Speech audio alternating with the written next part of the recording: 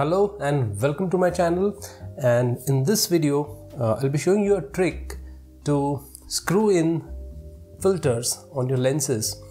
Uh, now when we use these filters on our lenses when we screw in uh, it could be a polarizer or UV filter or any other different kind of filter or maybe a Nisi filter I mean uh, a filter adapter to uh, which on which you can fit uh, the square filters. So when you are on the field and um, for example in February when I was in Iceland uh,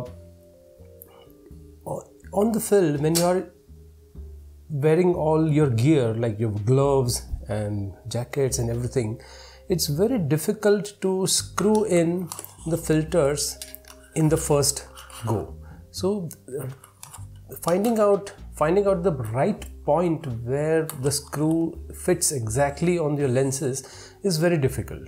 So what i found out is so that the trick that i have used is that on my lens i have marked with a marker pen uh, a, um, uh, a, white mark uh, arrow and on this filter I have one I have marked uh, I hope you can see it uh, if you can see this white mark I hope you can see. See this white mark? Uh, that's here. So what I do is when screwing in the filters uh, I mark I align these two marks the white marks that I have made and simply screw in the filters the trick is uh, for example I have this UV filter that I have to screw in. So what I will do is uh, firstly uh, by trial and error I'll just uh, screw in this filter. Now the filter is screwed in. And now uh, I already have a mark here.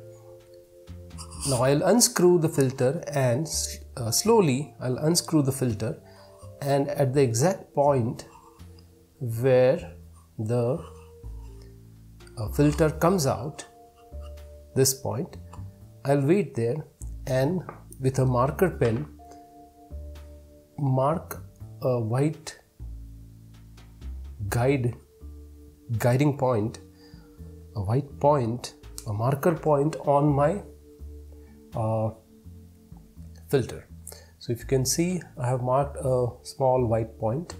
And now next time when I have to screw in this filter I'll just match this white points and straight away screw in. It's very easy. So I don't have to keep on rotating and I'm not sure I mean sometimes it happens that you screw in and you're not sure whether the threads have locked. So with this thing uh, with this small trick it's very easy to screw in the filters on your lenses. Just mark the entry points somewhere on the lens and the filter and align them and simply screw in the filter is locked.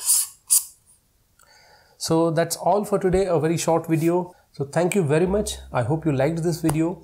Uh, do subscribe to my channel for more such tricks and there'll be some more uh, videos on photoshop and uh, other aspects of photography. So thank you very much. Bye for now